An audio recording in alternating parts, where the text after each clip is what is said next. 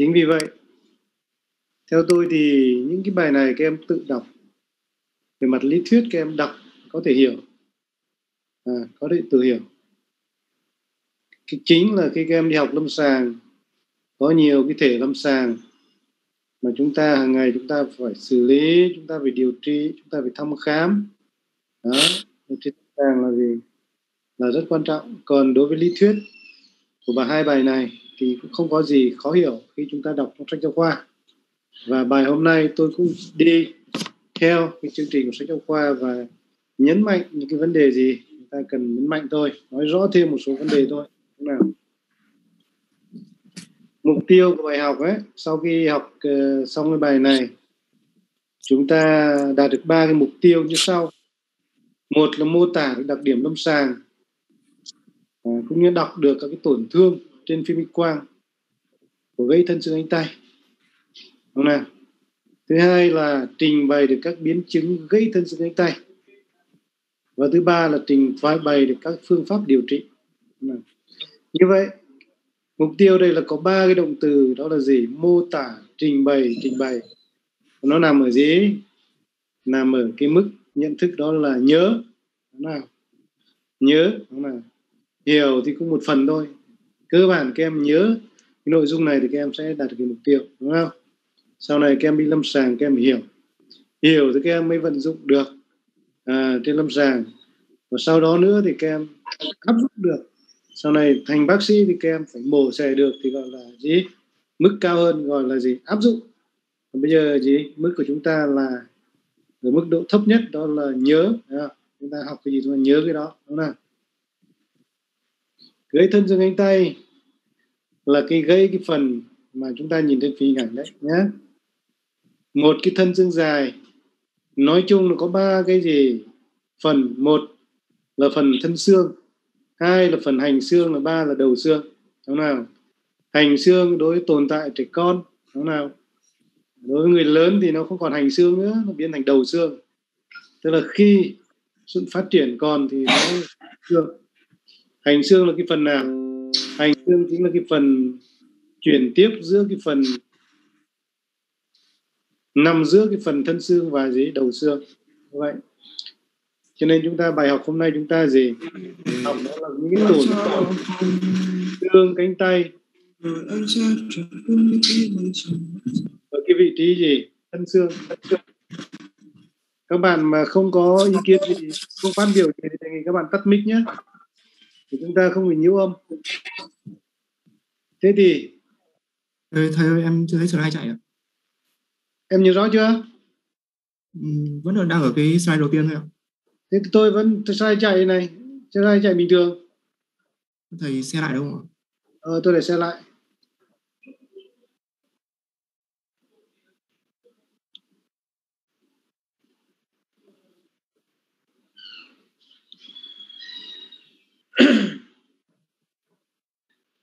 em với thầy là thầy để toàn màn hình cái slide đi ạ thì lúc mà thầy chạy thì nó cũng chạy ạ.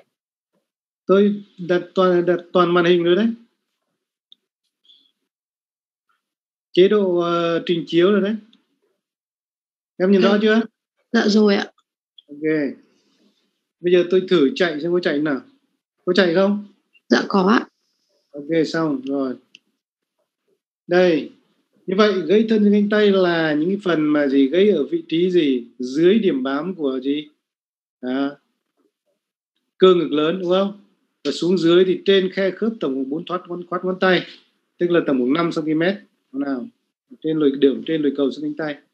Lồi cầu ngoài xương cánh tay. Như vậy đoạn trắng trắng đây đó là gãy thân xương cánh tay. Còn phía trên này đó là đầu trên xương cánh tay đầu phần dưới là đầu cánh tay. Nào thế thì cái gãy thân cánh tay nó chiếm tầm khoảng 5 đến 3 3 à, đến 5 phần trăm của gãy xương ở trẻ em. Người trẻ ở ờ, gãy xương. Đối với người trẻ thì hay gặp những cái chấn thương, lực chấn thương lớn. Đối với người già cũng vậy không? còn đối với trẻ em thì ít khi gặp ở gì? Gãy thân cánh tay. Mà đối với trẻ em ấy, thường gặp ở gì? Gặp ở cái vị trí gãy đầu dưới xương cánh tay hay là gãy trên lồi cầu xương cánh tay. Đó. nguyên nhân gãy thân xương cánh tay thì có thể là bệnh lý, có thể là chấn thương, có thể là gây xương sơ sinh. Đa phần là chúng ta gặp gây thân dương cánh tay do nguyên nhân chấn thương ở người lớn, ở người lớn, đúng không nào? Người già thì hay gặp gì? Gây đầu trên dương cánh tay, đúng không nào? Cùng một lực chấn thương, cùng một gì? Một cơ chế chấn thương, nhưng ở mỗi cái tuổi, lứa tuổi khác nhau thì thường gây ra những tổn thương ở vị trí khác nhau, đúng không? Về mặt giải phẫu thì chúng ta thấy rồi bao quanh thân dương anh tay có gì? Hệ thống mạch máu thần kinh và các nhóm cơ khác nhau. Đó nào. Cái này các em giải phẫu các em học rồi. Lưu ý ở đây là gì? Xung quanh đặc biệt là có gì? Về mặt thần kinh có dây thần kinh quay. Đi đây chúng ta nhìn thấy dây thần, thần kinh quay này. Đi sát với gì? Thân xương cánh tay từ một phần ba giữa là nằm trong rãnh xoắn thần kinh uh, rãnh rắn xoắn xoắn thần kinh quay rồi xong ra trước không? từ một phần ba giữa cho đến một phần ba dưới thân cánh tay là có thân có nhánh thần kinh quay à, có có thần kinh quay thì không phải nhánh nhé thần thân thần kinh quay đấy. Đi sát nhất gần nhất với gì? Với xương cánh tay chính vì thế cho nên là gì? Gây thân cánh tay thường có biến chứng dễ có biến chứng là gì? Liệt thần kinh quay đó là liệt thần kinh quay. Ngoài ra đi cùng với động mạch à, thần kinh có tĩnh mạch động mạch và tĩnh mạch đúng không? Trong đó có động mạch gì? Động mạch động mạch gì? Động mạch cánh tay đúng nào? Đúng nào? Thần kinh giữa thần kinh trụ vân vân đúng nào? Chúng ta thấy là gì? Tùy thuộc vào vị trí gãy thân xương cánh tay mà có cái hình thái di lệch khác nhau trên lâm sàng. Đó. trên x quang do gì? Sự co kéo của các gì? Các nhóm cơ. À, chúng ta thấy đây là gãy thân đây là cơ gì? Cơ ngực lớn đây này nhá. Đấy, thì gãy thân trên cánh tay là gãy bắt đầu từ dưới điểm bám điểm bám của cơ gì? Cơ ngực lớn đúng nào? Thế thì tùy thuộc vào vị trí gãy nó trên. Đây là cơ này là cơ delta. Đấy, cơ delta. Tùy thuộc vào vị trí gãy thân xương cánh tay ở trên cơ delta hay dưới điểm bám cơ delta mà có cái hình thức di lệch nó khác nhau do sự co kéo các cơ. Tôi lấy ví dụ nếu gãy trên điểm bám cơ delta thì gì? Bao giờ cái ổ gãy nó cũng gì? Di lệch lên trên và ra ngoài đúng không? Do do sự co kéo của cơ gì cơ delta. Còn nếu mà gây ở dưới vị trí điểm bám cơ delta thì à, thường có sự di lệch của thương thân cánh tay là gì? Là co gì? Di lệch lên trên vào trong. Do sự đeo, co bà co kéo của cơ ngực lớn cơ quạ cánh tay vân vân. Đó nào? Chúng ta nhìn thấy. Như vậy nếu trên phim quang Ờ, trên phim quang chúng ta nhìn thấy di lệch của xương cánh tay qua đó gián tiếp thì chúng ta cũng có thể dự đoán được là gì? Là gãy ở vị trí nào? Trên điểm bám cơ delta hay dưới điểm bám cơ delta? Đúng không nào? Và sau này chúng ta nếu chúng ta liên quan uh, uh, chúng ta là bác sĩ uh, chúng ta phải phẫu thuật thì chúng ta phải nắm được cái này thì chúng ta chủ động cái đường vào uh, nó tốt hơn. Đúng nào? Về cơ chế chấn chấn thương thì có cũng như là các loại à, gây xương khác ấy nhé bao giờ có hai cơ chế đó là trực tiếp và gián tiếp đúng nào? Trực tiếp là gì? Là những cái chấn thương mà gây xương mà do lực đánh trực tiếp phải là một chịu lực tác động ngay trực tiếp vào thân xương tay và gây ngay vị trí chịu uh, ờ, sự tác động của lực đúng nào? Tôi lấy ví dụ như là bị đánh bằng cái gậy sắt hay là một cái vật cứng gì vào cánh tay vào xương cánh tay hay là tai nạn giao thông vì bánh xe là gì chèn qua vân vân. À, chèn qua xương cánh tay hoặc là đá đè hoặc là bất kỳ một cái tai nạn lao động nào đó. Đúng nào? Thì qua đấy chúng ta thấy là cơ chế chấn thương trực tiếp bao giờ gây ra một cái tổn thương uh, nặng nề hơn rất nhiều so với cơ chế gián tiếp. Đúng nào? Đúng nào? Cơ chế gián tiếp là gì? Thường gặp trong ngã chống tay không? Ngã chống tay có thể là tư thế gì? Duỗi khuỷu có thể là gốc khuỷu nhưng gây ở vị trí gì xa nơi vị trí tác động của lực chấn thương là, là thân dưới cánh tay. Thì đối với trong cái cơ chế gián tiếp thì chúng ta thấy rằng là cái tổn thương cả về mặt phần mềm cả về tổn thương xương thì bao giờ nó cũng gì nó là nhẹ hơn à, nhẹ hơn so với chấn thương trực, trực tiếp à, cơ chế trực tiếp. Đúng nào? Một cái cơ chế ít gặp à, ít gặp nữa là cơ chế co cơ đột ngột đó là gãy xương do, do co cơ à, co cơ đột ngột. À, một số trường hợp trong chơi thể thao một số môn chơi thể thao cử tạ hay là một số cái môn chơi hoặc là có những cái bệnh lý gây co giật co cơ đột ngột ấy thì cũng có thể gây ra gãy xương đúng nào? Do sự co kéo của khối một số cái nhóm cơ đó là co thì gì? Nó gây ra một lực bẻ cuốn bẻ làm gãy thân xương cánh tay. Trường hợp này hiếm gặp à, đây là hình ảnh mô phỏng cho một cái à, chấn thương à, cơ chế chấn thương ừ, gián tiếp đúng nào? Gián tiếp lực chấn thương như nào à. về mặt triệu chứng ấy, à, về mặt chẩn đoán thì chúng ta dựa vào triệu chứng lâm sàng và hình ảnh x quang để chúng ta chẩn đoán gây thương xương cánh tay. Như vậy là không có gì khó cả đúng không? Không cần một cái gì cao xa cả cao siêu, chính vì thế nó gây thân xương cánh tay chúng ta có thể chẩn đoán được ngay tại cơ sở, y tế cơ sở. Nơi đó có thể chụp được một phim x quang thường quy là chúng ta có thể chẩn đoán xác định được rồi, đúng nào? Đó. Thế thì triệu chứng triệu chứng lâm sàng ở đây là gì? Triệu chứng lâm sàng ờ, nằm trong bệnh cảnh của của một cái gãy thân xương à, gãy xương mà chúng ta đã học năm 53 đúng nào? Đầy đủ các cái triệu chứng của gãy xương. Đó là chúng ta mô tả lại các cái triệu chứng gãy xương thì nó có hết trong gãy thân xương cánh tay. Về mặt gì toàn thân thì gì đối với gãy thân xương cánh tay ít khi có sốc xảy ra. Đó là thực ra là sốc ở đây thì gì thường cái tỷ lệ mất máu số lượng mất máu không nhiều. Và cái tình trạng đau nó không không nhiều như là gãy thân xương dài như xương đùi xương cẳng chân. À, cho nên thường toàn thân ít gì ít ảnh hưởng, ít thay đổi. Về mặt cơ năng ấy, cơ năng nó đau mà mất vận động thì à, nó điển hình của gãy xương. Sau một cái chấn thương thì bệnh nhân đau và mất vận động cái tay, cánh tay ở bên đó. Đúng nào? Bên chấn thương, đúng nào? Cái này gì đây này thì thì hầu như gãy xương nào cũng có, đúng nào? Dạ, trừ khi gãy xương mà gì? Gãy xương không hoàn toàn, đó là gãy rạn hay đường gãy rạn. Thì chỉ có gì? Đau, nhưng mức độ đau thì nó nhẹ không mất vận động nhưng có giảm chức năng vận động tức là giảm vận động. Tức là bệnh nhân vẫn có thể làm một số động tác nhẹ nhàng được nhưng hạn chế gọi là hạn chế vận động. Đúng không Đấy, còn lại gãy xương mà gì? Gãy xương hoàn toàn gãy rời ra rồi thì bệnh nhân đau và mất vận động cánh tay bên đó. Đó về mặt cơ năng đúng không? Về mặt thực thể chúng ta thăm khám ấy, chúng ta nhìn thấy gì? Nhìn thấy bầm tím này biến dạng này phù nề này đó, vân vân tất cả gập góc này. Đúng nào? À, gập góc này. À, ngắn chi này. Tất cả đều có hết. Đúng nào đó đó sờ. À, đó là nhìn. Còn sờ chúng ta nhìn thấy sờ thấy cái gì? Sờ thấy cái gì? Có thể đầu xương nó chọc ra ngay dưới da. Đó. Sờ thấy ổ gãy xương ấy, hay là tiếng lạo xạo xương hay là điểm đau chói vân vân.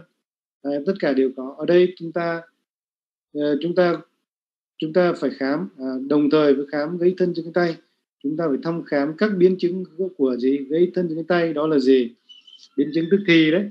Đó là tổn thương thần kinh, quay. Đó là tổn thương gì? Động mạch cánh tay. Cái việc thăm khám tổn thương động mạch cánh tay, thần kinh quay thì chúng ta gì thăm khám rất đơn giản thôi. Chúng ta khám vận động cổ bàn tay, vận động ngón cái, xem có dấu hiệu của liệt thần kinh quay không, đúng không? Còn liệt thần kinh quay dấu hiệu như thế nào thì chúng ta cũng đã học rồi liệt thần kinh quay thì bệnh nhân không duỗi được cổ tay lên không duỗi được các ngón tay lên ra và không duỗi dạng ngón cái được. Đó nào. Đó là liệt thần kinh quay. Đó nào. Còn mất vị cảm giác ở vị trí chi phối thần kinh quay. Còn đối với mạch cánh tay thì chúng ta động tác khám chúng ta rất đơn giản thôi. Đó là chúng ta bắt mạch à, mạch quay. À, bắt mạch quay. À. còn cách bắt mạch quay nào thì chúng ta biết hết rồi đúng không? Trong trường hợp mạch nghi ngờ trong trường hợp mạch yếu à, thì chúng ta phải gì? So sánh bên đối diện bên lành. À, à, còn mạch mất thì chúng ta gì? Chẩn đoán. Có thể chẩn đoán chắc chắn là gì? Tổn thương động mạch cánh tay thì chúng ta phải làm các cái cận lâm sàng tiếp theo đó là đó là siêu mạch máu đúng không? Đó. Thì đây là về mặt gì? Triệu chứng lâm sàng. Triệu chứng lâm sàng có đủ hết trong cái bệnh cảnh của một gãy xương. Các em chỉ cần nhớ triệu chứng gãy xương như thế nào thì gì? Chúng ta phải mô tả đúng như vậy cái thứ hai là phim quang. Quang chúng ta chỉ cần chụp một cái phim phim quang. Hai tư thế thẳng nghiêng. À, thẳng nghiêng để chúng ta gì? Ở đây tôi có một cái phim thẳng. Thì chúng ta lấy được cái khớp trên. Mỗi uh, mỗi uh, trên và dưới ổ gáy một khớp không? Trên chúng ta phải nhìn thấy được cái khớp vai ở dưới chúng ta phải nhìn thấy khớp khuỷu đúng không? Thế đây là cái khớp khuỷu chúng ta nhìn không rõ nữa nhé. À, chúng ta phải cần phải chụp thêm một cái khớp khuỷu tư thế thẳng nghiêng nữa. Đúng nào? Đây khớp khuỷu chúng ta chỉ nhìn thấy một phần thôi. À, không, không rõ ràng. À, trong trường không rõ ràng chúng ta phải chụp thêm riêng. Đúng nào? Thế thì trên phim này chúng ta thấy rằng là gì? Rõ ràng là gì? Gãy xương cánh tay là gì? Nó lệch di, di, di lệch lên trên. À, vọt ra ngoài vân vân. À, hoàn toàn xương cánh tay một phần ba giữa thân xương cánh tay ở đây tôi nhớ, các em nhớ rằng là thân dương cánh tay. Bao giờ thì người ta chia, về mặt phân đồ phân phân gọi là phân chia đấy. Thì người ta sẽ có một ba giữa, một ba trên, một ba dưới. Đúng nào. Đây là vị trí này là tương đương tương ứng với gãy đoạn một phần ba giữa thân dưới cánh tay. Đó là thế khi chúng ta đọc, chúng ta phải đọc vị trí một phần ba giữa thân dương cánh tay. Đúng nào. Ngoài ra chúng ta siêu âm siêu âm gì? Siêu âm mạch máu Doppler mạch máu trong trường hợp chúng ta nghi ngờ tổn thương từ cái quay à, tổn thương động mạch cánh tay thì chúng ta làm thêm cái gì? Cần lâm sàng đó là gì? Đó là siêu âm mạch máu. Đúng nào hoặc là có một số biến chứng khác. Đối với cánh tay chúng ta hội chứng chép khoang rất hiếm gặp. Đúng nào hiếm gặp không có hầu như không có. Tổn thương mạch thần kinh chúng ta trong khám lâm sàng chúng ta không cần thiết phải làm các cận lâm sàng khác như điện thần kinh vân vân. Đúng nào như vậy về mặt chẩn đoán chúng ta có chẩn đoán xác định gãy thân trên cánh tay chúng ta chỉ cần lâm sàng với cái minh quang là đủ đúng không? Về mặt phân loại phân loại gãy thì chúng ta gãy uh, có cái cái cách phân loại. Thứ nhất là dựa vào cái tính chất ổ gãy thì chúng ta có các phân loại như gãy nằm ngang này gãy chéo này gãy xoắn này gãy phức tạp này. Thế nào gọi là gãy ngang? Khi một cái đường gãy nằm ngang nằm ngang nhé nằm ngang hoặc là gì? Gọi là nằm, nằm ngang cái, cái, cái, cái, gần như vuông góc với thân cánh tay. À, đó là rồi gáy chéo là gì? Có cái đường gáy chéo. Đó là gáy chéo. À, gáy xoắn là gì? À, gáy xoắn là giật xoắn dọc theo thân cánh tay. Đó là ừ. nằm ngang. Thì hơi chếch một chút có được không? Gọi là ngang. Có. Nó tính rằng cái góc tạo bởi giữa cái đường thẳng ghế vừa giữa cái đường cái đường à, đường gãy và cái cái đường chân trời đấy đường nằm ngang đường thẳng nằm ngang ấy một góc dưới 30 độ. Đó, gọi là gáy ngang còn trên 30 độ gọi là gáy gì? Gáy chéo. Đó nào. Chéo xoắn là chéo xoắn thân dương cánh tay dọc theo thân cánh tay. Và gáy phức tạp là gáy gì? Gáy có nhiều mảnh rời. Đây chúng ta nhìn thấy. Đó. Đó, về mặt tính chất ổ gáy chúng ta có bốn phân loại như vậy. Ngoài ra chúng ta gì? Dựa vào phân loại gì? Của cái gì? À, AO thì chúng ta cũng phân loại A1 B A B C cũng có A thì A1 B1 C1 đúng không?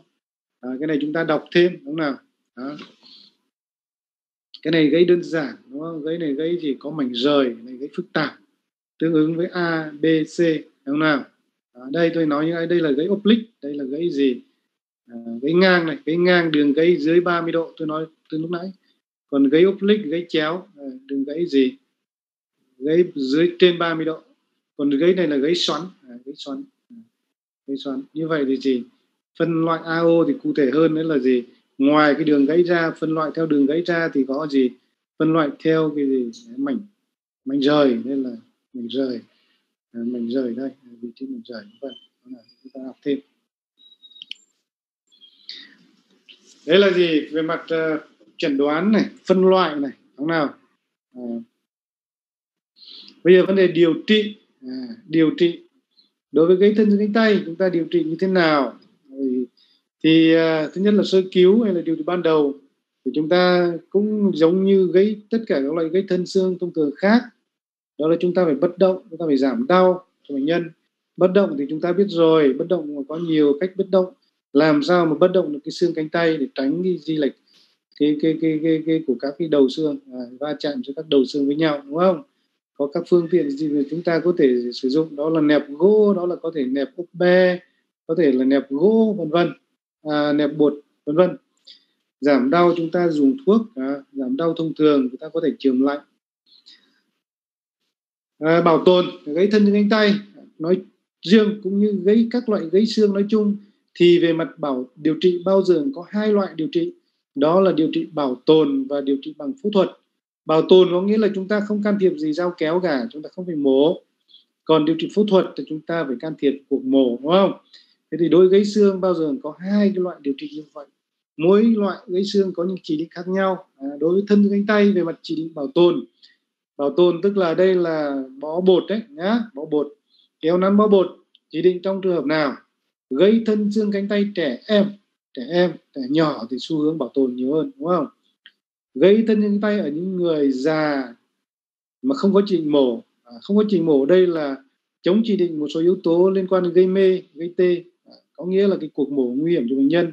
Do gây mê gây tê à, thì chúng ta điều trị bảo tồn. Thứ hai là gây ở những người không muốn mổ. À, người ta không muốn mổ thì thực ra là có thể bảo tồn được đúng nào? Đó. Ở đây chúng ta bảo tồn bằng cái gì? Bảo tồn bằng bột bột đây là có hai loại bột bột đờ sôn và bột chữ u. À, bột đờ sôn đây là gọi là bột đờ sôn chúng ta nhìn thấy. Còn bột đờ sôn như nào bột chữ u nào thì chúng ta sẽ học lâm sàng chúng ta gặp chúng ta mới thấy. Có nghĩa là cái bột nguyên tắc bột là chúng ta bất động được khớp vai và khớp khuỷu đồng thời bất động cả khớp cổ tay luôn. Thế nào muốn bất động khớp vai chúng ta phải cái phần bột nó phải sang cả cả thân mình đúng không? Bó vào cả thân mình thì chúng ta bất động khớp cánh tay à, khớp vai đúng nào? Đó mặc dù như vậy nhưng mà cái liền xương tỷ lệ liền xương của cái ờ, của điều trị bảo tồn nó tầm khoảng 90 phần trăm trong cái kéo nắn bỏ bùa ờ, điều trị bảo tồn ấy ờ, chúng ta có thể chấp nhận cái mức độ di lệch nào đó của gãy thì đối với xương cánh tay ấy thì cái chấp nhận gập góc có thể dưới 30 độ ờ, xin lỗi dưới 20 độ chúng ta được hoặc là ngắn chi nhưng mà ngắn dưới 2 cm chúng ta chấp nhận được. Đó nào như vậy nói về gập góc thì chúng ta cho phép gập góc đến 20 độ.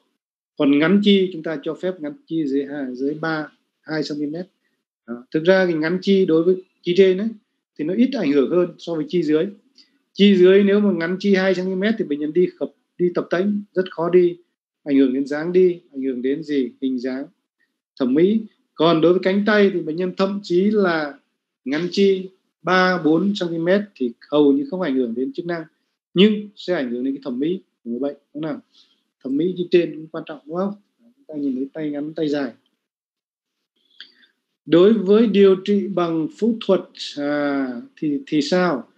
Phẫu thuật là những trường hợp còn lại à, không bảo tồn chúng ta phẫu thuật đúng không? Gãy xương cánh tay ở người lớn hầu hết gãy thân cánh tay ở người lớn là có chỉ định bảo tồn à, phẫu thuật nhé phẫu thuật. Vì sao?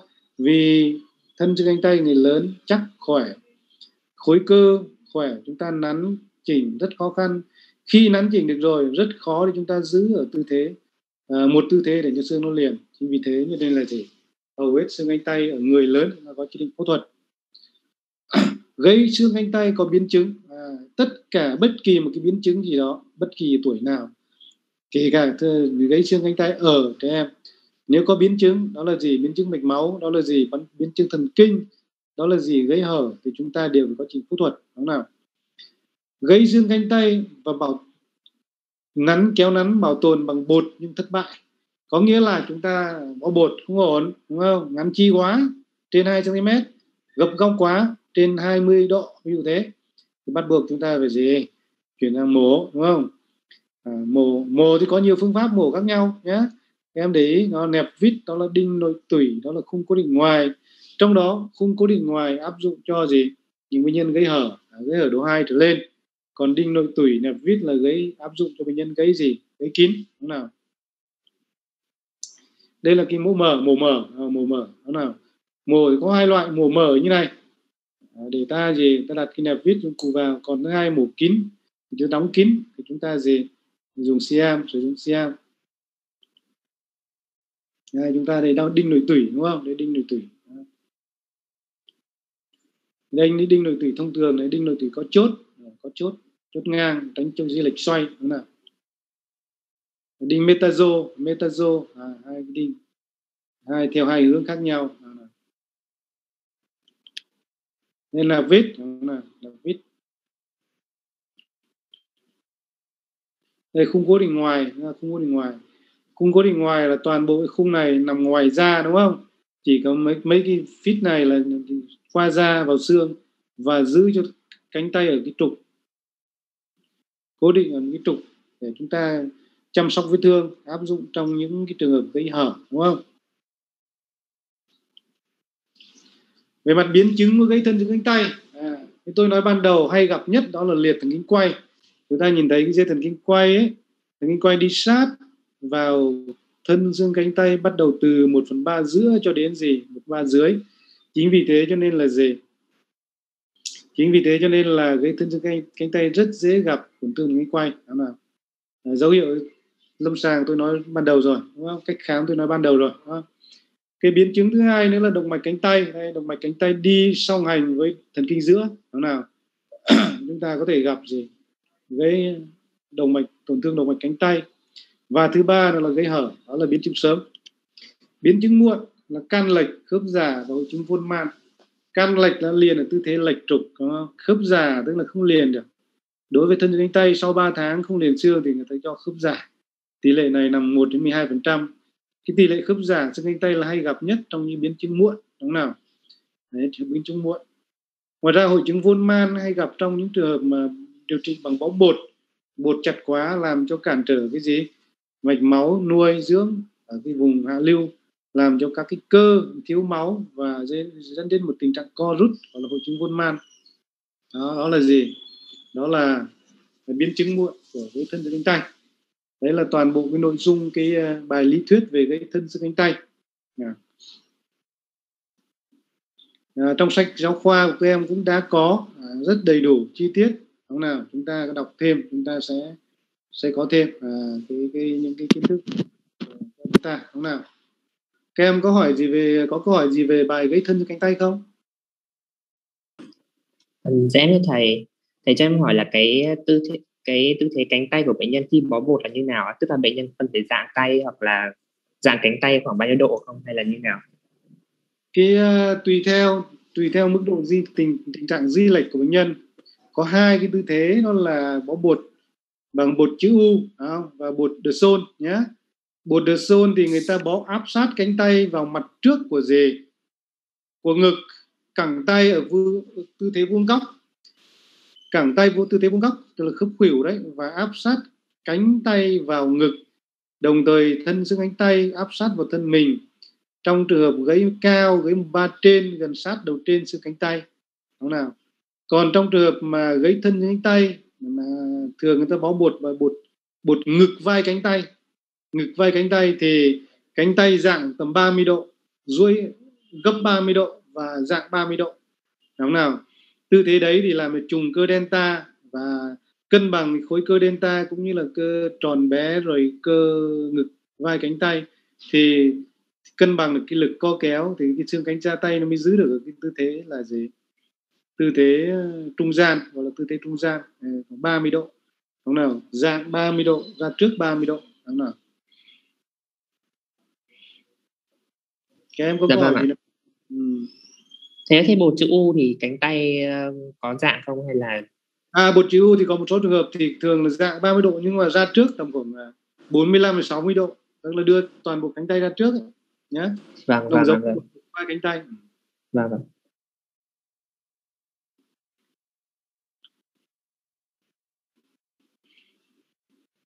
Các em có câu hỏi gì khác không? Tôi để chuyển sang bài tiếp theo nhé. Các bạn nào có câu hỏi gì nữa không? Thầy các bạn có một số câu hỏi trong phần trò chuyện nhé. Chúng ta có thể hỏi luôn đi được không? Đây tôi đang đọc câu hỏi của các em đây.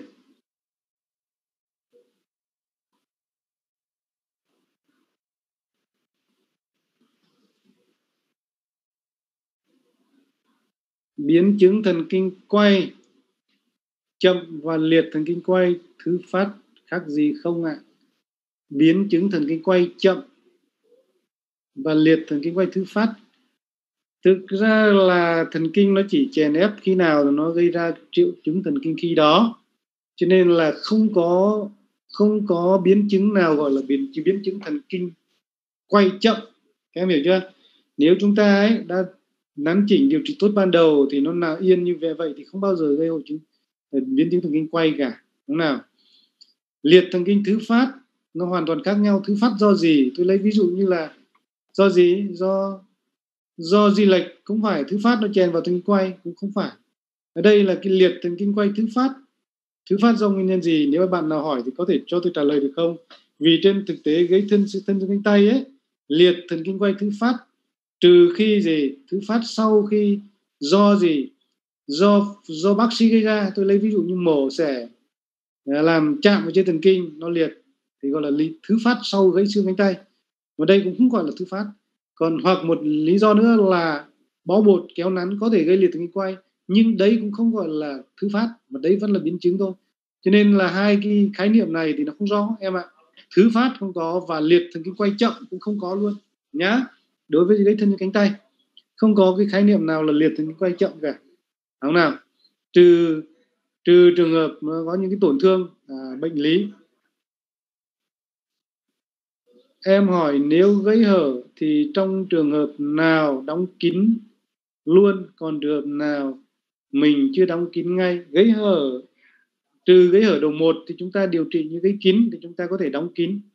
Nhưng gãy hở đầu hai trở lên bắt buộc chúng ta phải dế.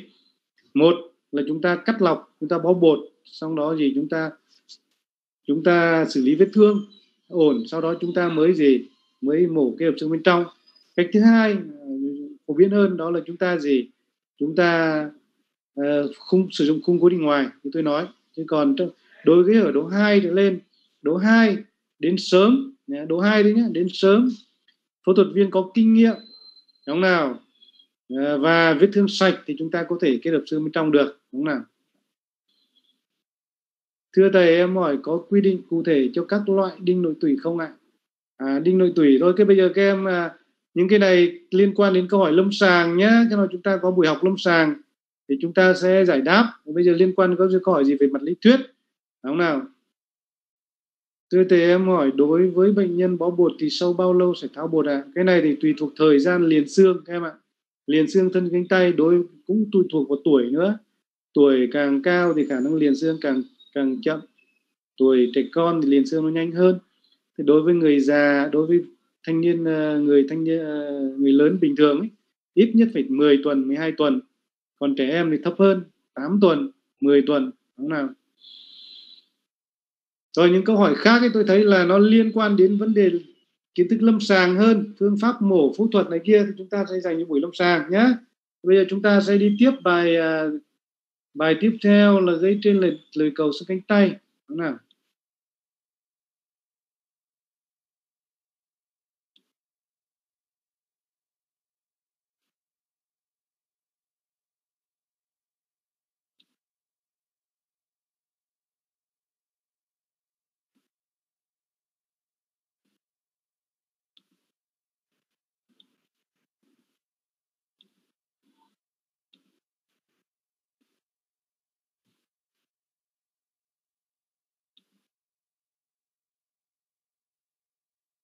các em nhìn rõ chưa? Dạ rồi ạ. Rồi đúng không? Rồi. Di chuyển chưa? Slide di chuyển. Dạ rồi rồi ạ. ok rồi.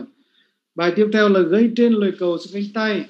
À, gãy trên lời cầu xương cánh tay là gãy chính cái phần dưới phần uh, cái hành xương của đầu dưới xương cánh tay đấy các em ạ nhá.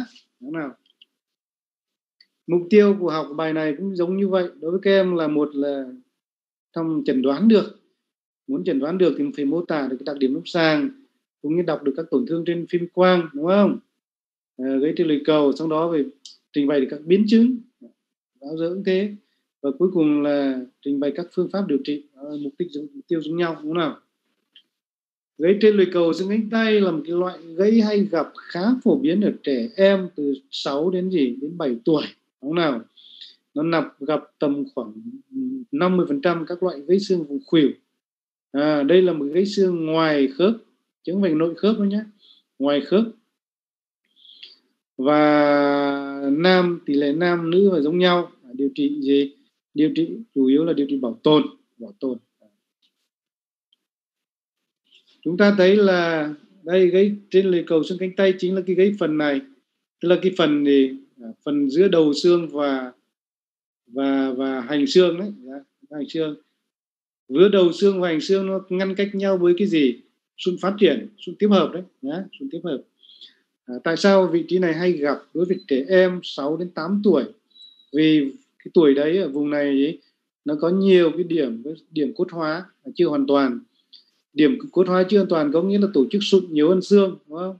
Sụn nhiều hơn xương nó mềm và cái điểm đấy là những cái điểm yếu. Và khi một cái lực dồn lên vùng khuỷu của trẻ em ấy, thì rõ ràng chỗ nào yếu nhất thì nó gây tổn thương ở đó. Đó nào thì phần sụn bao giờ nó yếu hơn là phần xương. Chính vì thế gây trên lồi cầu xương cánh tay hay gặp ở trẻ em tuổi này với một cái tư thế ngã, rất phổ biến đó là ngã chống tay xuống nền cứng. 95% còn lại 5% là gây ngã gì?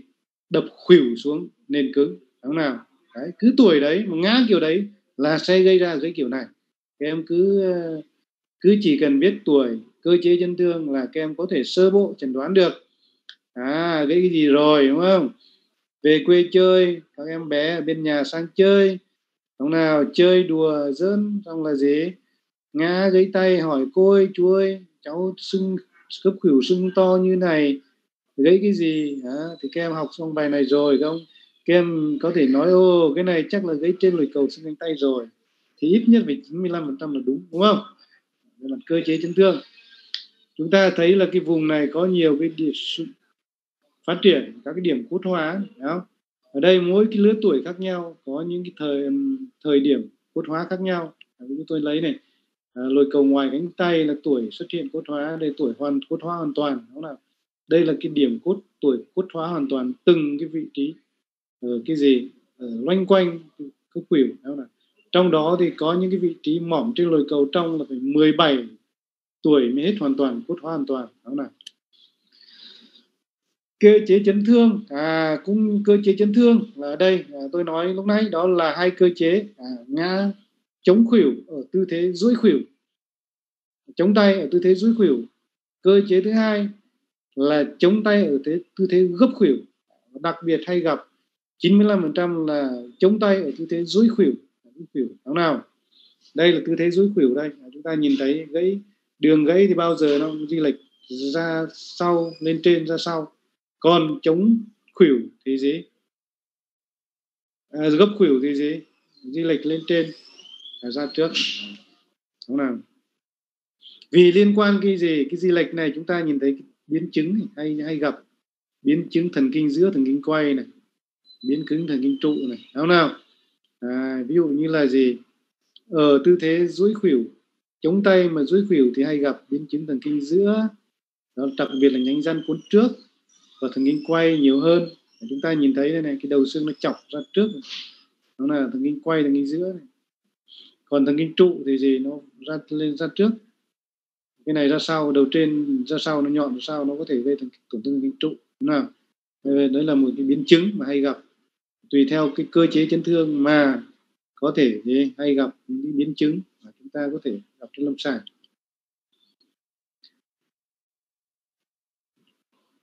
Đấy, ngoài ra tổn thương động mạch gì tĩnh mạch vân vân. Về mặt chẩn đoán à, chẩn đoán gây trên lưỡi cầu xương cánh tay thì chúng ta cũng nằm trong bệnh cảnh của một cái gãy xương cánh tay nói chung đặc biệt là gãy đầu xương. À, gãy đầu xương thì bao giờ cũng thế à, triệu chứng rầm rộ hơn à, về mặt toàn thân hầu như không ảnh hưởng. Mặt cơ năng bệnh nhân gì à, đau mất vận động khuỷu bên bên chấn thương đúng nào? Đặc biệt nhìn chúng ta nhìn thấy lớp khớp khuỷu phù nề sưng rất to rất nhanh.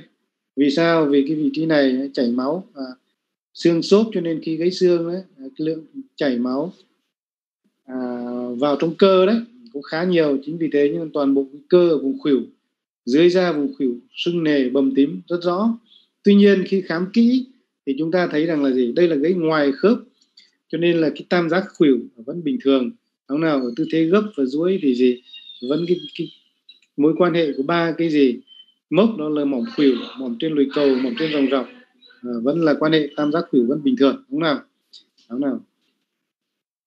Ngoài ra chúng ta nhìn sờ chúng ta sờ thấy thì cũng sờ thấy điểm đau chói cũng sờ thấy lạo xạo xương cũng sờ thấy đầu xương ngay dưới da. Tuy nhiên cái động tác sờ này là không cần thiết đặc biệt là với trẻ em gây đau cho các bé. Cho nên chúng ta không cần thiết phải sờ đúng không? Ở đây có chăng chúng ta sờ? Sờ chúng ta sờ cái gì?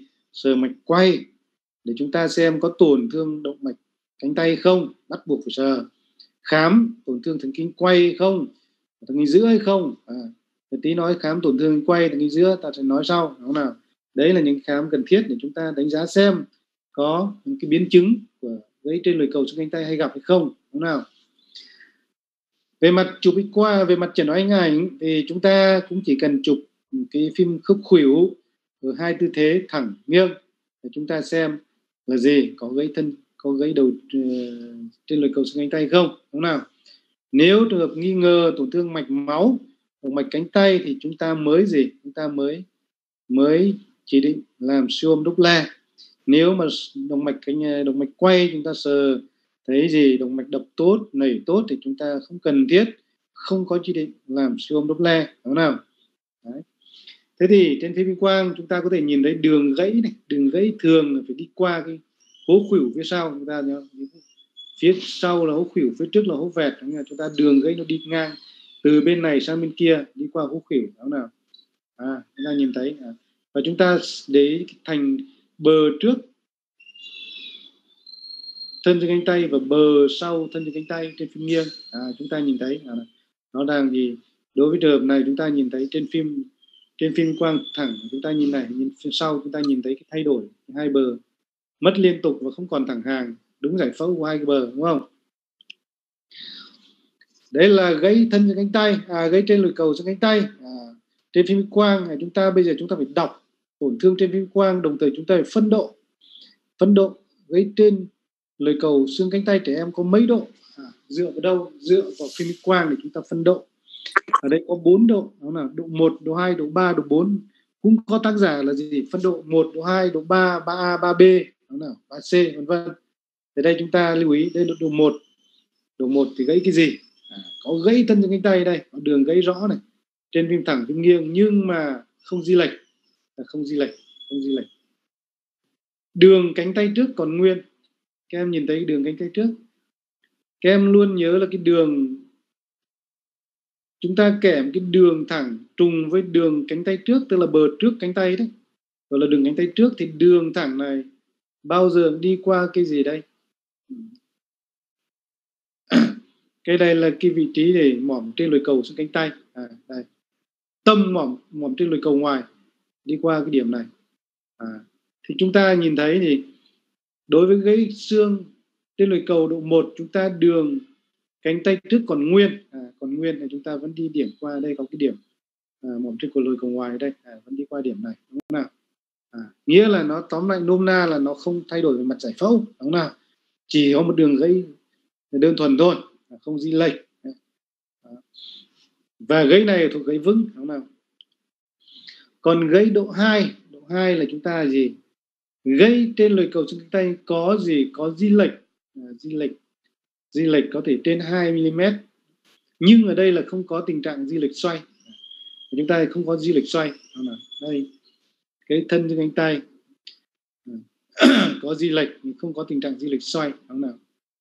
Còn di lệch xoay như nào, chúng ta phải để ý cái cái phần dưới này và phần trên. Là xoay thì nó sẽ gì? Nó, hai cái đầu trên, đầu xương nó có thể xoay trên cái mặt phẳng gì ờ, không gian, ba chiều chúng ta có thể xoay vào trong ra ngoài, vân vân. Xoay đây là xoay cái phần dưới, phần ngoại vi nó xoay vào trong hoặc ra ngoài so với đầu trung tâm, đúng nào? Cái này thì nói kem hơi hình dung hơi khó. Tuy nhiên là kem hiểu đơn giản hơn đối độ 2 ở đây là chúng ta có di lệch di lệch ít thôi.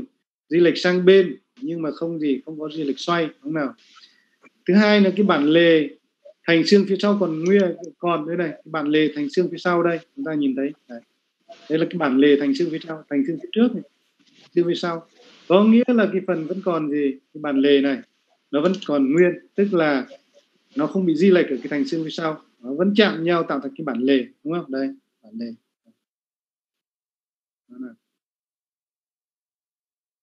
còn độ 3 là gì?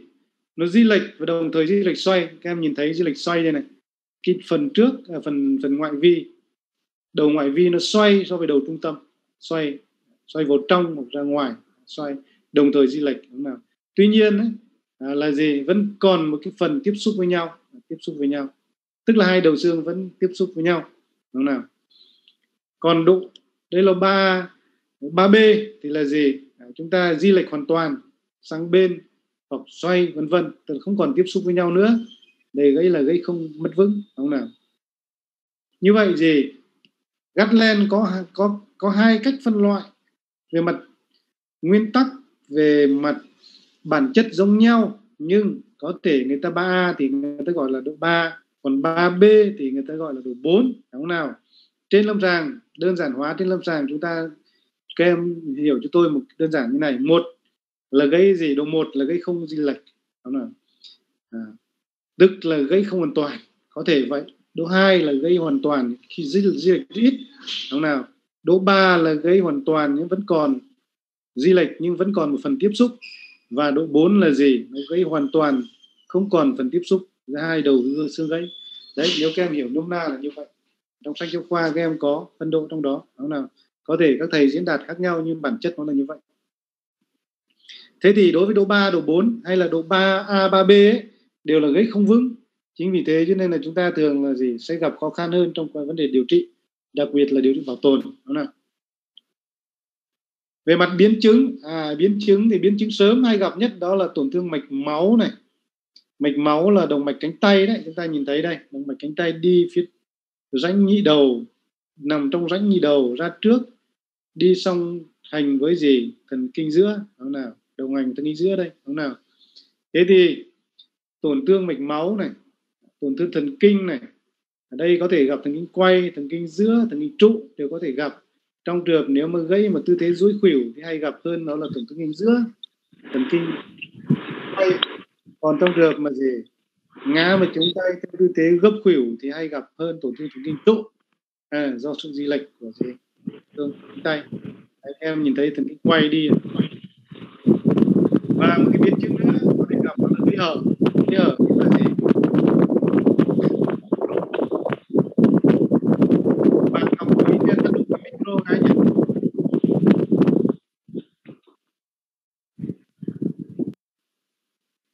gãy hở nghĩa là gì? Gãy mà ổ gãy xương là thông thương môi trường bên ngoài đúng không nào?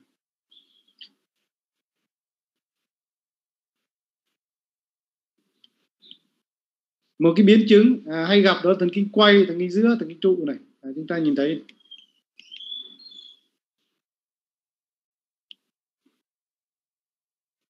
tổn thương thần kinh quay ấy gặp 41 phần trăm à, thần kinh giữa 36 phần trăm và thần kinh trụ đấy chứng tỏ là gì thần kinh quay hay gặp nhất đúng không thần kinh giữa thần kinh trụ thế thì trên lâm sàng ấy đối với trẻ em ấy các em lưu ý là gì đối với trẻ em khám tổn thương thần kinh quay thần kinh giữa thần kinh trụ thường rất khó khám vì người ta không làm gì làm các theo cái ờ, cái động tác mà chúng ta người lớn bảo. Và chúng ta thường để khám ngón cái à, ngón cái. Ngón cái thì thường liệt thần kinh quay thì bệnh nhân sẽ không gì không duỗi ngón cái được đúng nào? Tôi sẽ làm cho các em xem.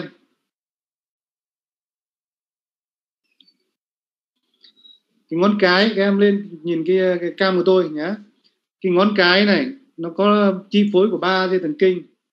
Dạng duỗi là con, là gì? Là thần kinh quay, khép là thần kinh trụ và gì? Gấp. Gấp này, gấp là thần gấp dài, ngón cái là thần kinh giữa. Khép. Ngón cái là thần kinh trụ và dạng duỗi gì? Ngón cái là thần kinh gì? Thần kinh quay. Như vậy chúng ta khám, đối với trẻ em ấy, chúng ta có thể khám ngón cái, chúng ta có thể biết được đúng nào ví dụ như bảo làm cháu làm động tác duỗi ngón cái ra à, người ta thấy dễ làm hơn là duỗi cổ tay. Đối trẻ con gãy gãy xương ấy người ta sợ đau các cháu sợ đau. Người lớn thì bảo cháu người, bảo người ta duỗi cổ tay ra duỗi cả bàn tay như này thì người lớn làm được còn trẻ em ấy người ta không làm các cháu không làm vì đau sợ đau. Nhưng mà khi bảo các cháu duỗi ngón cái thì các cháu có thể làm được. Thì nếu trong trường mà cháu gì duỗi được ngón cái như này thì gì? Thì không liệt thần kinh quay. Còn nếu cháu không duỗi dạng ngón cái này được thì có khả năng liệt thần kinh quay đúng không thứ hai thần kinh giữa là gì? Vì có gấp dài ngón cái. Chúng ta biết thần kinh giữa là cái thầy hay, hay dạy các em đó là các động tác đối chiếu đúng không nào? Đối chiếu. Như vậy thì gì? Tức là có do gấp dài ngón cái thì thì các cháu sẽ có làm được động tác này không? Động tác gì? Đây là gì? Ok sai đúng không? À, đây là ok sai nhưng màn hình các em đang nhìn thấy. Đây là gì? Đây là cái dấu hiệu này là ok nhưng nếu mà trong trường hợp liệt thần kinh giữa thì các cháu không gì không làm này được mà cái ngón hình thái ngón cái sẽ là như này đây các em nhìn thấy đây là gì? Dấu hiệu liệt thần kinh giữa đây đúng nào? Không làm chữ ok được. Mà các em cái gì? À, mà chỉ làm này thôi. Đây, đây là gì? Liệt thần kinh giữa chỉ làm như này. Còn thần kinh giữa còn thì có thể làm như này còn thần kinh trụ thì gì? Thần kinh trụ thì các em biết rồi. À, đúng. Còn là cái test formal test. À, formal test tức là gì? Đưa cho một tờ giấy đúng nào? Thần kinh trụ do khép con cái mà cho nên đưa tờ, các cháu tờ giấy hoặc là bệnh nhân tờ giấy. Cầm này và chúng ta rút tờ giấy. Nếu mà chúng ta không rút được giữ chặt. Ngón cái giữ chặt này thì không liệt thần kinh gì. Trụ còn trong trường mà gì? Liệt thần kinh trụ thì gì? Chúng ta rút cái tờ giấy một cách gì? Rất gì dễ dàng. Đó là cách khám. Mà tôi nói riêng về vấn đề cách khám. Đơn giản hơn áp dụng cho trẻ em. Vì gãy xương này ấy thì hay gặp ở trẻ em mà đúng không nào? Đó. ngoài ra một số động tác như xòe chụm ngón nhón tay xòe ngón đó. ví dụ thần kinh giữa thì thần kinh quay là gì? Thần kinh giữa là dấu hiệu của gì? Bàn tay khỉ đấy đúng không? Chúng ta xòe ngón này này xòe được như này thì thần kinh trụ. À, động tác xòe ngón do cơ gian cốt đúng không nào? Cái này là do thần kinh trụ nếu không xòe không xòe ngón được thì tổn thương thần kinh trụ hoặc là chụm ngón này do thần kinh giữa đúng không? đó là một cái động tác rất dễ khám đối với trẻ em đó nào? Một cái biến chứng muộn nữa là gì? Đó là đây là biến chứng muộn đó là vẹo khuỷu hội chứng vuông man. Cái vẹo khuỷu này tỷ lệ gặp khá là cao đúng nào? Các em nhìn thấy ấy, 9 đến 8 58 à, phần trăm đây là theo thống kê của nước ngoài đúng nào? Tỷ lệ không phải là thấp à, cái này thì ngay ban đầu chúng ta điều trị bảo tồn có thể là tốt tuy nhiên một thời gian nó sẽ gì? Biến thành vẹo khuỷu. Đây, chúng ta nhìn thấy vẹo khuỷu. Cái này là gì? Nhiều khi bất khả kháng, phải không nào? Đó. một hội chứng là vuông man. Đây là hội chứng vuông man. Như tôi nói ờ, trường hợp gãy thương thân cánh tay tôi nói rồi. Cứng khuỷu, khớp giả hoại tử vô mạch. Hoại tử vô mạch cái phần ngoại vi đấy nhé và viêm cơ cút hóa. Đây là một số cái biến chứng hay gặp của gì? Cái trên lồi cầu xương cánh tay trẻ em về mặt điều trị thì vẫn sơ cứu thì giống như là gì? Cái thân cánh tay tôi nói rồi. Không phải bất động nó giảm đau. Bất động thì có thể dùng nẹp rame nẹp obe hoặc là bột giảm đau bằng thuốc chườm lạnh vân vân. Điều trị à, điều trị đa số trẻ em là điều trị bảo tồn bằng kéo nắn bó bột à, kéo nắn thì các em biết là kéo nắn dưới màn tăng sáng. Hoặc là gì? Tốt nhất là dưới màn tăng sáng. Kéo nắn xong rồi chúng ta phải giữ bằng cái bột bó bột bột này gọi là bột cánh cẳng bàn tay. À, bột từ dưới một phần ba trên cánh tay qua khuỷu cho đến gì cổ bàn tay. Khớp khuỷu gấp vuông góc vuông góc. Đúng nào? Trong khi kéo nắn dưới màn tăng sáng xong á chúng ta thì bó bột như này. Và bột phải, phải gì? Bột bó bột hai giai đoạn. Giai đoạn đầu từ 7 đến 10 ngày chúng ta phải bó bột rạch dọc như này. À, rạch dọc để tránh tình trạng gì? Chèn ép bột. Nghĩa là tránh hiện tượng là gì? Tay sưng nề nó làm cho gì bột gì nó chèn ép vào bột và làm cho tình trạng cấp máu nó kém ở phía ngoại vi nó kém. Trong trường chèn chèn ép bột mà chúng ta phát hiện muộn có thể là gì cái hội chứng vun man à, chúng ta nói ban đầu. Thế thì để tránh hiện tượng đấy chúng ta phải rạch dọc rạch dọc. Sau 7 10 ngày khi tình trạng tay nó đỡ nề sưng nề đi rồi bột lỏng chúng ta phải chuyển sang cái bột à, bột gì bột rạch dọc à, bột tròn kín tức là bột tròn tròn và chúng ta để thêm 2 đến 3 tuần. Như vậy thời gian mẫu bột tùy theo trẻ lớn hay trẻ bé. Thông thường là 4 tuần à, 3 tuần đến 4 tuần à, 3 tuần đến 4 tuần. Trẻ em nhỏ bé thì 3 tuần còn trẻ lớn 4 tuần. Chúng ta có thể tháo bột chúng ta tập luyện được. Cách thứ hai là chúng ta gì? À, xuyên kim dưới màn tăng sáng. Nghĩa là chúng ta kéo nắn dưới màn tăng sáng xong đó chúng ta gì? Xuyên kim kisne qua da. Chúng ta giữ cái ổ gáy, xong rồi chúng ta bó bột. Ờ, thời gian bó bột chúng ta ba bốn tuần là, và sau đó chúng ta đồng thời rút kim. Cách thứ ba là chúng ta dế. Mổ mở mổ mở trong trường hợp mà dế, cái xương có biến chứng, ví dụ biến chứng mạch máu thần kinh chẳng hạn, thì chúng ta phải mổ mở ra để chúng ta xử lý mạch máu thần kinh. Đồng thời chúng ta dế, chúng ta đặt lại cái ổ gãy xương của chúng ta, găm kim, phải găm kim. Đối với gãy xương, đầu xương trẻ con, vì nó còn gì, còn sự phát triển cho nên chúng ta ưu tiên sử dụng các cái phương tiện kế hợp xương đơn giản nhất ít tờ, ít tổn thương ít tàn phá nhất. Phải không? Đó là gì? Các cái kim kisne nhỏ. Chúng ta găm kim nó không dùng các kim mũi khoan lớn không dùng các cái vít to nó gây tàn phá tổn thương vào cái gì? Cái sự phát triển của trẻ em. Chính vì thế chúng ta chỉ sử dụng các cái kim kisne chúng ta giữ thôi. Tất nhiên kim kisne chúng ta giữ tạm, giữ đồng thời chúng ta bó bột cho đến khi mà gì mà cái ổ khứu gây nó dính rồi can non à, thì chúng ta bắt đầu rút cái kim ra để chúng ta cho bệnh nhân tập đúng nào? Đó là gì? Đó là bài à, gãy trên lưỡi cầu xương cánh tay trẻ em đúng nào? Ở trong sách giáo khoa các em cũng à, cũng đã có rồi đúng không nào?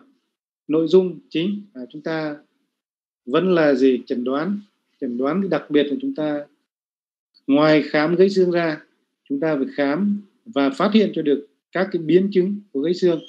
Đó là biến chứng mạch máu gãy xương hở và biến chứng sớm tổn thương thần kinh à, biến, biến chứng uh, quay tổn thương kính quay thần kinh giữa thần kinh trụ đó là à, rồi là gì? Sau đó là các cái biến chứng muộn ví dụ như là gì? Yêu xương nó là khớp giả đặc biệt là lệch can lệch vân vân. À, can lệch lệch trục vẹo khuỷu đấy. Đúng không nào? Thế thì qua bài này thì à, về mặt lý thuyết à, lý thuyết thì các em có hỏi vấn đề gì về lý thuyết không? À, em thầy thầy cho em hỏi là gãy trên lồi cầu thì cách cái nhấc vuốt khuỷu khoảng bao nhiêu cm ạ? Cách khuỷu à? Gãy trên lùi cầu là đường gãy ngay ở cái vị trí hành xương. Nó không có cái vị trí cách khuỷu nào cả vì nó có một cái khoảng gì? Và cái ngay cái vị trí hành xương từ bên này thành bên này qua gì qua hố khuỷu và đi sang thành bên kia thường đường gây đi đi qua hố khuỷu em ạ. Nhé mà thực ra hố khuỷu thì ngay ngay sát vì cái đầu dưới trên cánh tay rồi. Nó chỉ cách khoảng tầm 2 3 cm thôi đúng không? Nhưng mà đối trẻ em thì cái cái cm thì nó nó không cố định nó nó, nó hoàn toàn nó di động nó nó biến động nó bất động gọi là bất bất định. À, cho nên là các thầy không phân chia bao nhiêu cm mà người ta chỉ chỉ định nghĩa rằng là đường gãy đi qua hố khuỷu từ bên này thành xương sang bên kia thành xương và đồng thời đi qua hốc khuỷu. Và đồng thời là gãy ngoài khớp gãy ngoài khớp. Nó khác với người lớn gãy trên và liên lồi cầu ở người lớn. Đó là đường gãy cũng vị trí đó, nhưng mà đi vào khuỷu khớp khuỷu, gọi là gãy nội khớp, gọi là gãy trên và liên lồi cầu. Đó là đường gãy hình chữ T. Ngoài đường, cái cái nét ngang, còn có một nét dọc xuống, đúng không? Nét dọc xuống đó, tách đôi hai lồi cầu trong và ngoài ra hai bên. Đối với người, đấy là người lớn. Người ta gọi là gãy trên và liên lời cầu. Đó là gãy gặp ở người lớn. Còn đối với trẻ em là gì? Nó không có cái đường trẻ dọc. Đúng nào? Nó chỉ có một đường nằm ngang. Tương đương với vị trí đó là gì? Là là sự phát triển. Nó cũng giống như là gì? Không giống hoàn toàn thôi, nhưng mà nó đa phần đi qua vùng sự phát triển cho nên giống giống như là gì cái cái bong sụn tiếp. Em hiểu như nào? Đó. Thì vị trí đấy là các em đấy vì biết là vị trí đấy là điểm yếu vì là đầu dưới xương cánh tay của trẻ em. Dạ vâng.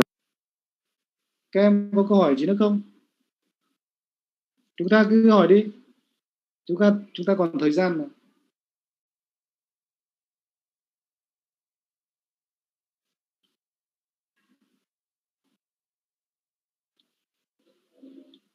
tôi ờ, đọc câu hỏi chat của bạn nào?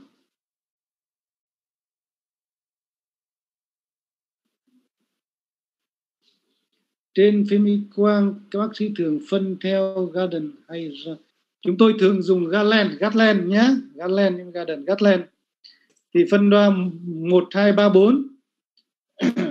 Gatland cải tiến rồi là Gatland nguyên bản, nhưng mà một, hai, ba, bốn tương đương với một, hai, ba ba, b. Đúng không nào?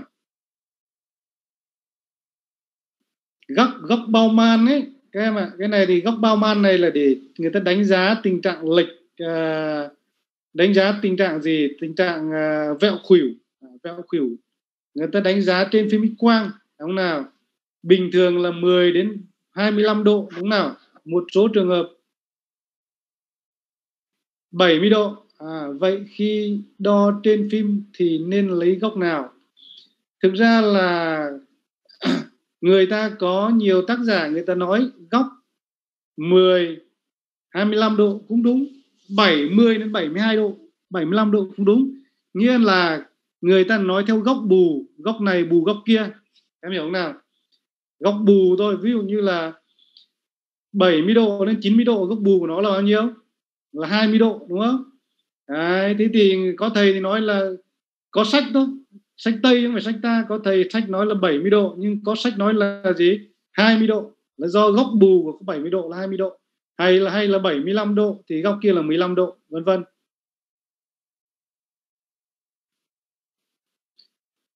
Thế thì thông thường chúng tôi thường lấy cái góc là góc 70 độ mà, em nhé. Thường thống nhất thôi. Cái này các thầy phải thống nhất với nhau là góc bao nhiêu độ? Là 70 độ, chứ không không dùng cái góc bù của nó là gì? 20 độ. Đúng không nào? À, vấn đề slide thì à, tôi sẽ gửi cái này thì à, à, cái này thì theo quy định của bộ môn. À, những cái bài slide giảng dạy của các thầy thì các thầy nộp lên bộ môn. Nếu học sinh viên mà xin slide thì phải liên hệ với thư ký bộ môn em ạ để qua bộ môn. À, chúng tôi các thầy không không được phép chuyển cái slide này cho các cho học trò sinh viên nhưng mà sinh viên có thể về bộ môn hay là qua thư ký văn phòng bộ môn có thể xin cái bản PDF hay là cái bản gì? Bản photo đều được. Em có thể liên hệ với văn phòng bộ môn nhé. Em thưa thầy bột cánh cẳng bàn tay có sử dụng cho gãy thân xương cánh tay. À, bột cánh cẳng bàn tay thì không sử dụng cho gãy thân xương cánh tay. Vì sao các em biết không ạ? Vì nguyên tắc bất động là phải trên và dưới ổ gãy một khớp, đúng không? Chính vì thế cho nên là gì? Gãy thân trên cánh tay bắt buộc chúng ta phải dùng bột nào mà bất động được khớp vai thì chúng ta mới đạt cái gì yêu cầu điều trị bảo tồn thân trên cánh tay. Mà muốn gãy bất động khớp vai thì bột cánh cẳng bàn tay bàn tay không thể sử dụng được, đúng không?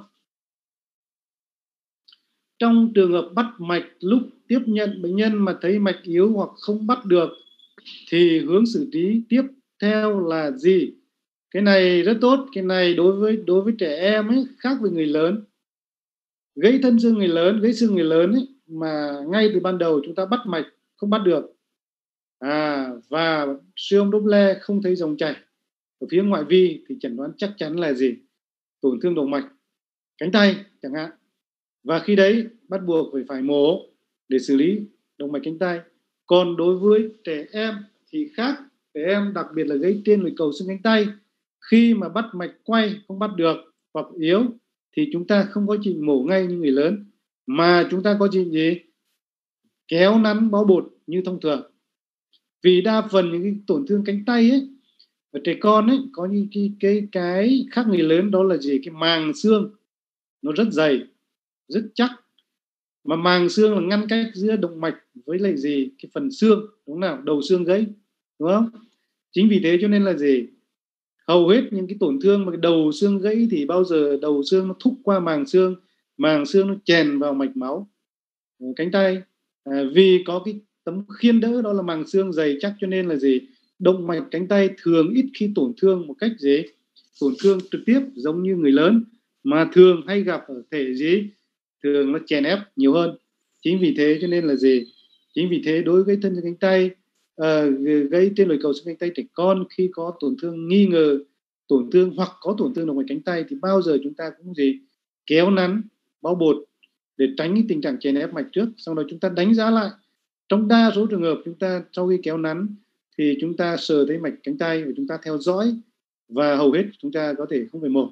Tuy nhiên trong trường hợp chúng ta vẫn có thể sau khi chúng ta kéo nắn rồi nhưng có tổn thương chúng ta bắt mạch mà vẫn không rõ hoặc là vẫn yếu thì chúng ta có, có bắt buộc phải mổ đúng nào? Như vậy câu hỏi của em ở đây là gì? Chúng ta không nên mổ vội chúng ta phải kéo nắn máu bột trước sau đó chúng ta theo dõi tình trạng mạch. Nếu mạch vẫn nảy tốt trở lại bình thường thì chúng ta theo dõi và không nhất thiết phải mổ đúng nào? Không can thiệp mạch. Thôi ờ, chúng ta bài giảng chúng ta thì ờ, các em không có câu hỏi gì thì chúng ta tạm dừng tại đây nhé.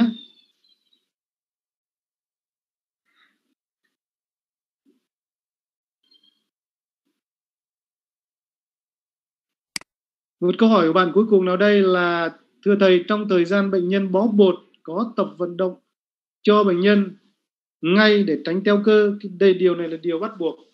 Trong thời gian bó bột thì bao giờ cũng phải hướng dẫn bệnh nhân tập vận động. Đầu tiên là vận động các cái ngón tay đúng nào. Bao giờ bột thì người ta không bắt động ngón tay các ngón tay phải cho bệnh nhân nắm duỗi ngón tay. À, nắm duỗi ngón tay xong là gì? Gồng cơ lên cơ trong bột là gồng cơ trong bột tức là chúng ta có thể phải tập cơ tĩnh gọi là tập cơ tĩnh chúng ta có thể vận động cơ không phát sinh động tác vẫn gồng cơ lên cơ trong bột để làm cho tình trạng gì? Lưu thông máu được tốt hơn máu trở về được tốt hơn giảm phù nề giảm tăng máu xuống nuôi nuôi cơ thì nó tránh teo cơ. Đúng nào? À, như vậy chúng ta có thể tập ngay sau khi bó bột cho đến khi tháo bột chúng ta được tập. Thì chúng ta không phải để nguyên như vậy đúng nào?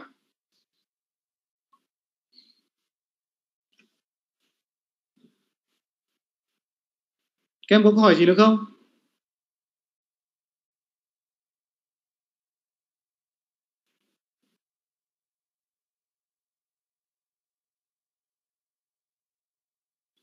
Các em có câu hỏi gì nữa không nhỉ?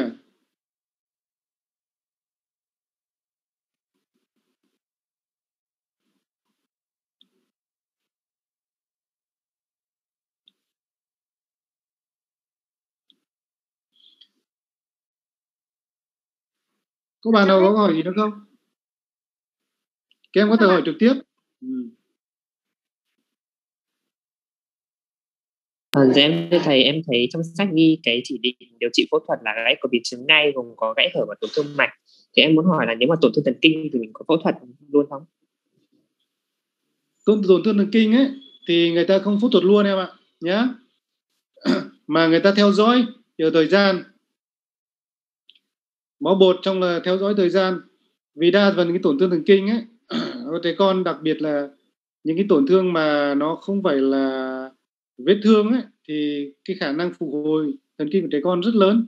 Cho nên trong trường mà gì tự nó phục hồi được thì không cần can thiệp. Tuy nhiên theo dõi theo, theo thời gian nếu không phục hồi được thì cái đấy người ta mới tính chuyện can thiệp. Và bây giờ người ta có thể là đánh giá can thiệp sớm hơn người ta nhờ cái gì? Nhờ cái uh, điện trần thần kinh. À, thì xem là gì? Tổn thương mức độ nào? Nếu mức độ nhẹ theo dõi còn mức độ nặng thì có thể người ta phẫu thuật sớm hơn. Tuy nhiên không cần phải phẫu thuật ngay nhé dạ vâng ạ.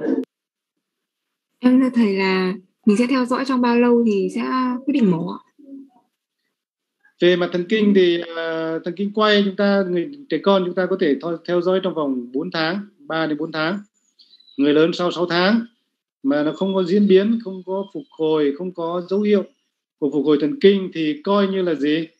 Tổn thương thần kinh quay không phục hồi. Thì khi đấy chúng ta gì? Phải buộc muốn bắt buộc phải mổ. Chúng ta mổ thì chúng ta làm gì? Chúng ta chuyển cơ. Đó là gì? À, đó là là trong trường hợp mà tổn thương không không phục hồi. Tuy nhiên trong quá trình theo dõi đó người ta không chỉ theo dõi bằng lâm sàng mà có thể theo dõi bằng gì? Điện chẩn thần kinh theo định kỳ. Và trong trường hợp người ta có dấu hiệu mà tổn thương phục hồi chậm thì người ta có thể can thiệp sớm hơn sớm hơn bằng cách là chúng ta có thể gì? Ghép thần kinh hoặc là nối vi phẫu thần kinh, vân vân. Đúng nào? Cái này thì phối hợp với các cái cái ờ, phẫu thuật tạo hình. Người ta có thể ghép thần kinh, nối thần kinh sớm hơn để làm sao mà phục hồi được cái dây thần kinh đó. Dựa vào cái theo dõi định kỳ qua cái điện thần kinh. Đúng nào?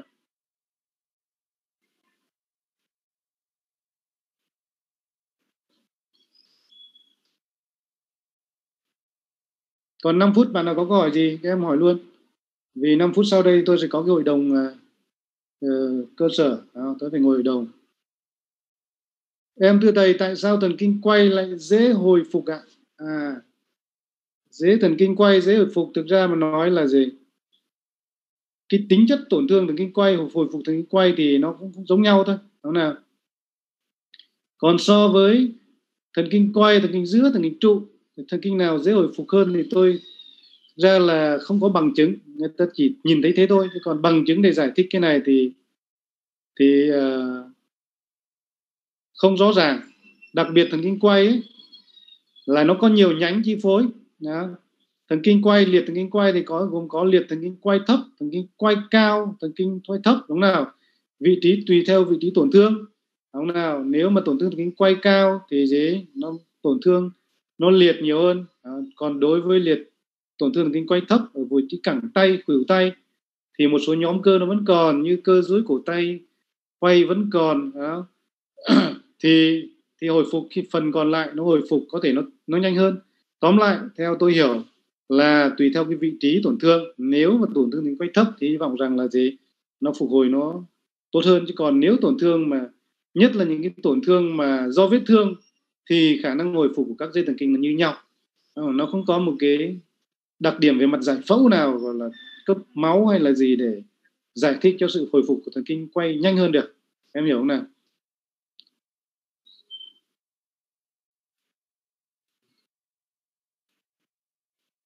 Ừ. MT thần kinh trụ, cái này thì, cái này chúng ta rất hay gặp, nhất là chúng ta ngồi học, mà chúng chúng ta ngồi học giảng đường ấy chúng ta kê cái khuỷu tay của chúng ta lên gì? Lên bàn trong một thời gian dài. Hoặc chúng ta nằm ngủ chúng ta kê tay lên gối đầu lên tay sáng hôm sau liệt. Thậm chí là liệt chứ không nói tê nhé có nhiều người ngủ xong liệt liệt tạm thời thôi không phải liệt vĩnh viễn em hiểu chưa? Rồi hồi phục nó từ từ cấp máu trở lại nó sẽ hồi phục. Còn thần kinh trụ ấy là do cái, cái thần kinh trụ nó nằm ngay ở cái gì? Giữa gì? Giữa cái mỏm khuỷu và gì, điểm cái mỏm trên lồi cầu trong ấy, nó nằm ngay cái rãnh này. Giữa mỏm khuỷu và lồi cầu trong, nó ngay nông ngay dưới da. Và sau đấy là cái mỏm trên lồi cầu, hay là mỏm trên rồng dọc đấy. Chính vì thế cho nên là gì, nó không có cái phần che chắn cho nên là gì, khi chúng ta tì lên lực lên đó. Ví dụ tôi nói rồi, khi ngồi học chúng ta để mái, cái tay lên cái bàn hoặc chúng ta ngồi cái ghế đầu thì rất dễ tác động trực tiếp lên kinh trụ. Nó khác với thần kinh quay thần kinh giữa thì nằm sâu hơn có cơ che chở bao bọc. Em hiểu như là còn thần kinh trụ ngay dưới da chính vì thế nó gây dễ gây bị tê. Đó, gây bị tê cái này thì chúng ta hay gặp rồi đúng nào? Tuy nhiên là gì? Chúng ta có thể vận động một lúc có thể hết tê ngay đúng không? Thôi chúng ta dừng tại đây nhé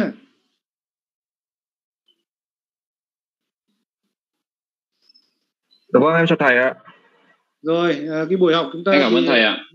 Về mặt lý thuyết thì trong sách giáo khoa các em học đọc thêm nhé.